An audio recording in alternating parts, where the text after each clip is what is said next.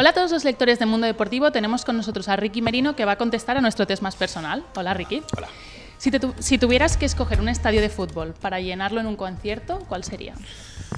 Um, joder, pues te diría, el, te diría el Bernabéu, pero porque lo hice con la gira de OT y, y fue impresionante, que había mucha gente y yo creo que es de los más grandes. Y luego también canté en el del Español, también te voy a decir.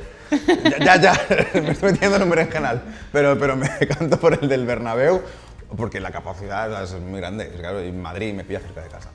¿Con qué deportista te gustaría colaborar, por ejemplo, en un próximo videoclip? Pues mira, yo tiro mucho para mi tierra, ¿eh? Y, y- y, pues, o sea, es, es imposible, pero bueno, quién sabe. O sea, me gustaría mucho que Nadal, que Rafa, oye, ¿no? Pues un vídeo así en Mallorca y tal, y que saliese él, pues ¿por qué no? O sea, yo se lo estoy diciendo a cámara por si lo está viendo. No sé, Ya lo hizo con Shakira, ahora contigo. Es verdad, oye, pues de Shakira, Ricky, pues, pues, oye, pues, ah, quién sabe, ¿no? Pues sí. Si te tuvieras que dedicar a un deporte, dejar la música y decir, mañana me dedico a un deporte, ¿cuál sería? CrossFit.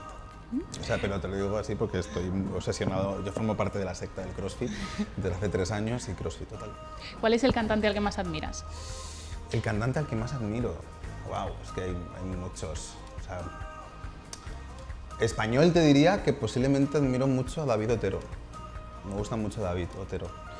Eh, luego fuera ya te diría, pues bueno, yo soy muy de Melanie Sí, siempre lo digo, que me gusta mucho ella. Pero aquí en España, David, sí. ¿Un libro? Un libro.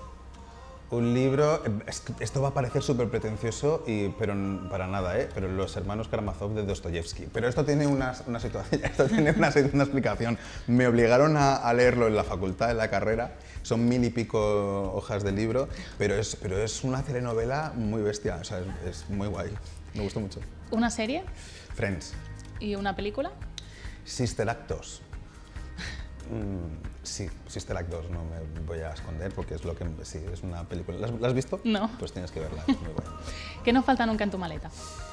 Que no falta nunca en mi maleta, ropa de más. Eh, si viajo dos días, me llevo ropa como para siete.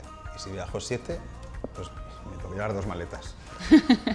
Aparte de cantar, ¿cuál es otro de tus puntos fuertes?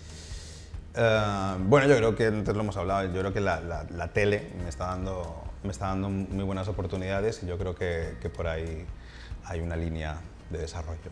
Y la última, antes de salir al escenario, ¿qué es lo último que haces? Calentar. Tengo como siempre la manía de pensar que estoy, que estoy frío, que no, entonces siempre estoy haciendo mis orgoritos. "Uh, uh, uh", y entonces salgo y ya salgo después de hacer eso. Muy bien, gracias Ricky.